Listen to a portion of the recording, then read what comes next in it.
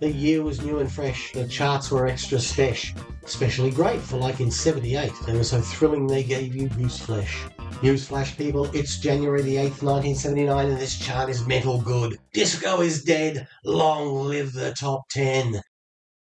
Kicking off this week with a section that is so great it, like James Brown, just wants to step right back and kiss itself. Hello and goodbye. And there's one new recording to the top 10 this week Billy Joel's splashy showstopper My Life, which comes all the way up from 17 last week. Despite arriving so emphatically, it hung around for just five weeks and got as high as number 5. Departing this week, it's Donna Summer's rather odd version of Jimmy Webb's MacArthur Park, after a month amongst the elite, getting no higher than number 8. In the USA, Summer was in the middle of an amazing and unheralded run. She was the first and so far only artist to have three consecutive double albums make number one in the US, and she had more top 10 hits in the decade 76 to 86 than any other female artist. Of the fellas, only Stevie Wonder, Paul McCartney, and Elton John had more. The biggest hit entering the charts this week is Come On Aussie Come On by the Mojo Singers. Mojo was an advertising agency and the song was the jingle that was used to advertise Kerry Packer's breakaway World Series cricket competition. For those in the Americas, imagine a billionaire, perhaps a New York property developer gone rogue, basically buying up all of the best Major League Baseball players and starting his own private league. Or for the Europeans, just imagine Manchester City. I was the only kid in my cricket club who sided with World Series cricket. Even then, I could see the superiority of free market solutions. Yet, ironically, when Rupert Murdoch tried to do the same thing with rugby league in the 1990s, I stood in vehement, fulminating, and vituperative opposition to him. That's because Rupert Murdoch and his idiot children are reprehensible lizard creatures, and Kerry Packer, Packer and Murdoch's fathers were deadly enemies, was an Aussie legend. Anyway, Come On Aussie Come On was a genuine earworm, and after debuting at 55, it hit the top on February 12 after six weeks on the chart, where it stayed for two weeks, becoming the 22nd biggest hit of the year. Leaving the charts this week was a 32 week veteran, former 8 week number one You're the One That I Want by that spunky little Aussie songbird Olivia Newton John and some rando. Thus far, the third biggest hit we have ever seen on our chart. Let's take a moment to reflect on the passing of a champion. The next number one is in the top 10 this week, and it's our old friend Ward Otters with one of his top songs, You Mix Hot Kidneys. Can you work it out? Answers at the very end. Number 10 this week is the biggest hit on the chart, the five week number one for the Commodores, Three Times a Lady. This is the sixth biggest selling single in Motown's history, although Motown never did RIAA certification, so it is an educated guess one of five songs in that top 10 to feature the man with the second sexiest moustache in this video. Modesty forbids me naming the first. 9 is Dire Straits, which is surely one of the worst band names ever. I mean, seriously, how much effort went into that? A band which turned out to be so relentlessly, facelessly corporate spends zero hours at the beginning on branding. Anyway, with probably their most well known and enduring song, Sultans of Swing. On a more serious note, my best friend in high school, a chap who pretty much taught me to play guitar, was obsessed with Mark Knopfler's tone, so much so that he superglued a matchstick into his pickup switch so that it was always stuck on bridge middle. Sultans sort of malingered in the top 10, not doing much of anything for five weeks, getting as high as six. Dire Straits were incredibly popular across that most dire of straits, the Tasman Sea. Their Brothers in Arms is the biggest selling album ever in New Zealand, selling one unit for roughly every 14 New Zealanders, or one unit for every 350 sheep. 8 is Billy Joel's Busy My Life off his 52nd Street album, an album which remains an enduring favourite. Joel, peerless as a songcrafter as he was in the late 70s to mid 80s, wasn't exactly a genius when it came to managing his personal affairs in this period. After breaking up with his first wife and manager in an epically nasty divorce, Joel then unaccountably hired her brother as his manager. Unaccountable is the operative term there because Weber then proceeded to take him for far more than his sister ever had, stealing from Joel on an industrial scale, and, get this, taking a mortgage over the publishing rights to Joel's songs possibly distracted by having punched legendarily above his own weight in marrying Christie Brinkley, took him many years to realise what this grifter had done to him and proceeded to sue the son of a bitch for $90 million. Weber simply declared bankruptcy and Joel ended up with less than 2 million of his fortune back. Thankfully, he got some good advice and managed to leverage his publishing back by playing it off against fat recording contracts and became, well, almost as fabulously wealthy as he deserves to be. He and Brinkley split in 1994. They're still close friends, but it's fair to say that Billy hasn't aged as finely as Christie. The stupendous Seven is the lady who is beloved by the ladies who love ladies, and was no doubt the subject of many slow jams at closing time at the Alliance Hotel on St Paul's Terrace in the mid 80s. And if anyone got that rather obscure reference to the Brisbane gay club scene 40 years ago, well done and high. Anne Murray with the tender hearted You Needed Me. This was a solid hit, due in some part to the fact that in 1979 we had a dedicated country music station in Brisbane, which would have had this on heavy rotation, and it got to number two the week before Christmas 78. After a very respectable 23 weeks, it faded off the charts in the last week of March. Well, if 7 was stupendous, 6 is simply silly. Boney M's epoch defining Rasputin. Two weeks at number one at the start of December just gone was its reward for this German assortment of lip syncing models who pre Milli Milli Vanilli. I guess, given they were sham group, they should have been called Phony M. Time for the trade up, where we look at the records on this week's charts, which in a fair world would have been top 10 hits, but our local record buyers are idiots, so this is what they got. And there is a trove of them this week. Buckle up, you are not going to believe the stuff we poo pooed en masse. First up, Cheap Trick's Magnum Opus Surrender, which got no higher than number 32. This is a bit of a funny history because despite the low peak, it stayed on the charts for five months, and I wouldn't mind betting this spent more consecutive weeks at number 99 on its way out than any other record ever. So long, in fact, that the follow up, California Man, entered the charts, wobbled up to 91, left the charts all the time while this was marooned at 99. The Angels with the iconic Take a Long Line, a song I've seen played so many times live, headbanging to it, may well be the reason that I'm bald. Spent 26 weeks on the charts, peregrinating up to number 29. Its long chart run, no doubt bringing a smile to the face of good old Fifa Riccobono, as she toted up sales reports at Albert Records one of The Who's best known songs, Who Are You? The song responsible for the first time I ever heard the word fuck on the radio. Stormed its way up to the charts but was halted at number 23. This would have entered the charts the week after Keith Moon died. Some tribute. One of the last and best hurrahs for disco, A Taste of Honey's Boogie Oogie Oogie, was floating about having topped out at an unworthy number 13. And it was sad testament to just how far ABBA had fallen when Summer Night City, one of their really underappreciated singles, failed also to get no higher than 13. But the biggest almost of the week was City Boys 5705, an early Mutt Lange production which only got to number 11.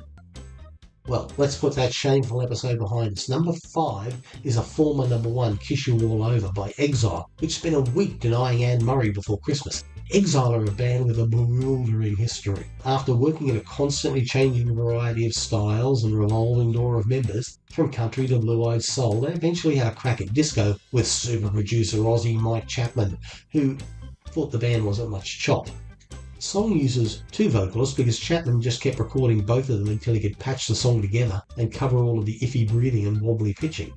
And of course, it was a huge hit. 25 weeks on the charts, and Chapman got a measure of cred back when his production, Heart of Glass by Blondie, spent five weeks on top in April and May, and then Racey spent another 12 weeks or so on number one with two other singles later in the year. Number four is You Don't Bring Me Flowers by Barbra Streisand and Neil Diamond. Now, regular viewers will know that Mr. Diamond has no finer friend than this series, but I have to say he is the bad guy on this record. The record was originally going to be a duet between Barbs and Marvin Gaye, but Marvin was, as usual, another dick and wouldn't do it. Of course, that means the song is only 1% of its total potential, because, truth be told, Neil is duller than the Olympic sloth marathon, more lethargic than a statue on Klonopin, and heavier than a sack full of phone books. And Barbs rises to his level. Marv would at least have challenged her. Neil just turned it into an easy paycheck. Number three is a record so awful that it is truly great. One of the great cases of the artist slumming it and getting away with it by having a ridiculously good time. Rod Stewart's utterly ludicrous Do You Think I'm Sexy, where he relentlessly roasts himself every inch of the way and we're all in on the joke. A future two week number one. There are five former, future, or current number ones this week, it is a sing along, daggy dancing classic and it has stood every test of time. And Stewart donated all the money from it to UNICEF. Of course, he ripped it off from Jorge Ben's Taj Mahal, but he fessed up straight away and settled amicably with the great Brazilian. This was to be Stewart's third number one of the 1970s, a total only bettered in the decade by ABBA. Number two, oh god, I've been waiting ever since this theory started to feature this song. Ça plane pour moi, roughly This Life's for Me or This Is Working for Me by Plastic Bertrand, a Belgian DJ. The song never made number one, it peaked at two this and next week, but it hung about on the charts for six months and was a staple at every blue light disco I habituated through the summer and autumn of 1979. Now, a blue light disco was a dance that the police used to hold to try and keep kids off the streets in the drug riddled feculent shithole that I grew up in, and I'm, I'm not kidding, it was horrible and in 50 years it's gotten even worse. Blue light discos were where I learned that A, I am at heart a dancing machine, and B, girls are fun. Writing this, I got curious. What is he yammering on about in that song? So here are the French lyrics, roughly translated. Wham bam, my cat Splash is rolling about on my bed. He swallowed his tongue as he drank all my whiskey. As for me, I hardly slept. I feel empty and reprimanded. I had to sleep in the gutter, where I had a flash of inspiration in four colours. Okay, let's go. A babe came around to my house. She looked like a cellophane doll with curly hair. She was wearing a plaster and had a hangover. She drank my beer in a large rubber glass. Like an Indian in their igloo. This works for me. This works for me. Okay, let's go. That babe was such a bitch. What a vibration. Coming on the doormat. File down, ruined, empty, but happy. You are the king of the divan, she says to me in passing. I am the king of the divan. Okay, let's go. Mind your own. Keep your nose out. Don't harm my planet. Today's not the day the sky will fall down around my ears or that I will have to go without a drink. This works for me. Okay, let's go. My baby up and left. She walked out on me. It's a shitty situation. She broke everything the sink, the bar. She left me all alone like a total jerk. Stuck here faced with the aftermath. You really needed to know that, didn't you?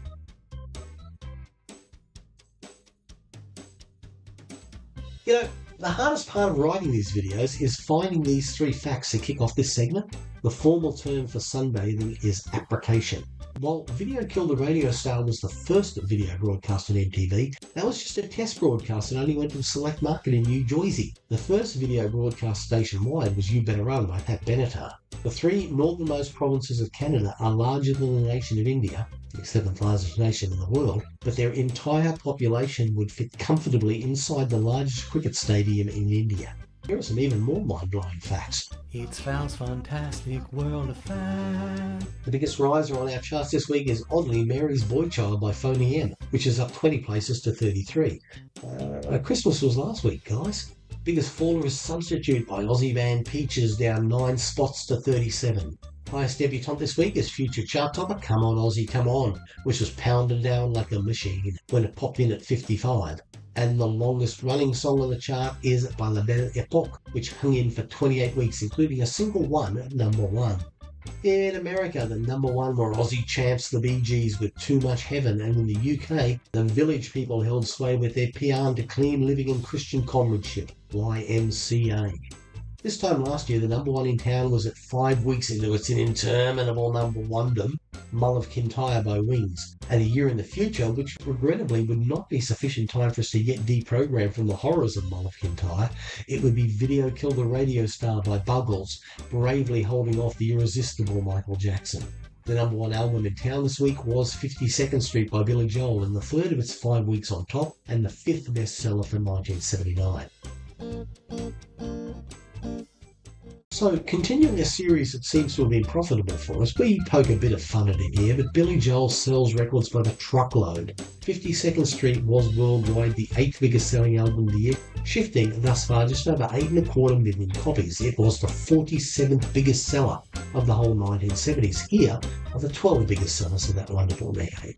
Beginning is 1971's Tapestry from Carole King, which was the record that truly showed the industry just how many it could sell. Every second of this is great. Boston came to epitomise a slightly sterile, high sheen, family friendly American rock machine that sold like nobody's business in the mid 70s to mid 80s. In 1978, Grease was the word and the one we all wanted. Still pops up in the top 100 now and then, and After Hot August Night is the record most often found in charity shop bins. Elton John's Goodbye Yellow Brick Road is pretty much the perfect record to put on when kids ask you, Daddy, what did that man who looked like an overstuffed orange hair do to get so famous? He's done some better things for sure, but he's done a whole lot worse. It's like the Cadbury Roses of this album. The Wall by Pink Floyd sold 33 million copies. I myself could listen to it 33 million times and still not get it, but what do I know? Set me to write in the comments. I bet you're surprised to see this this low. It's a bit like Yellow Brick Road. It's not the best of everything they did, but it's most concise and fun distillation of everything they could do. The magnificent, the challenging, and the gloriously stupid. Rumours was for a time the biggest seller of all time, and I think it deserved it. People pick at this and that, but that's just being niggardly as far as I'm concerned. This is an impeccable album full of great songs, human soul, and wonderful playing. Saturday Night Fever replaced Rumours as the biggest seller of all time. In 1978, the record industry shipped an all-time record 341 million albums. Thus, this Rumours and our number two were primary drivers here. To give you some perspective, 1978 was the biggest selling year for pre CD record sales. The biggest selling year post CDs was 2000, when just under a billion CDs were shipped. Saturday Night Fever is a wonder. It's a double album stuffed with filler instrumentals, and you don't mind. There's just so many great songs all the way through it that it makes it one big fun journey. 4. Their Greatest Hits by Eagles. Released in early 1976, it is reputedly the biggest selling album in the US with 38 million in that market alone. The sales figures on this album have always been highly disputed with discrepancies between reporting and sales as high as 8 million copies. All of the other Eagles compilations, and there have been plenty, haven't sold half what this one is claimed to have sold combined. 287 days after they released their greatest hits, they made it immediately redundant by dropping Hotel California an eight week number one. No such dispute hangs over this record, and it has been a steady seller since day one. Often bookended with Rumours as the iconic album of era, in my opinion, it pales to Rumours in every department by some length. But that's a bigger argument for another place and a whole nother time. Biggest selling album ever in Australia, Meatloaf's Bat Out of Hell is at number two with an amazing 43 million copies. It still sells 200,000 copies a year worldwide. It's gloriously stupid maximalism, and much as it may seem inconsequential, it's just too much fun to be ignored. Top album of the decade is Pink Floyd's moody Dark Side of the Moon, with 45 million and, and still shifting serious units. I think it is, like most of Floyd's music, terribly dry and witless, but this one at least manages to conjure some interesting textures where if you're in a situation where there's no alternative not to physically engage with the music, can make for some interesting listening. The third biggest seller of all time, it sold over a million copies in Australia and only 13 albums have ever managed that. So, only the 80s to go, and that means it's time for the beast with the beats, Monty the safety monkey, to drum us to number one. At number one for the second week is YMCA by the Village People, one of the most delightfully silly but eternally memorable artifacts of the 1970s. This came very close to being the first song ever to be number one in Australia, the UK, and the US at the same time, hitting number two this week in the US but getting no higher while holding down the top spot here and in London. It was this week that the famous dance steps of this song first appeared on American Bandstand. I had never been able to do that dance, and my children have actually stopped me attempting to do it by manually correcting my moves on occasions. I apparently always get the aim wrong. Well, Chillum, that is how the cow ate the cabbage this week in the first top 10 for what might be my favourite top 40 year of all time. In 76 episodes, this is only the second time we've been here, and there's still two years, 1978 and 82, that we've only been to once. So we'll have to see about that, and maybe we will. When, if the good lords are willing and the creeks don't rise, we come back with another instalment next week. Kish.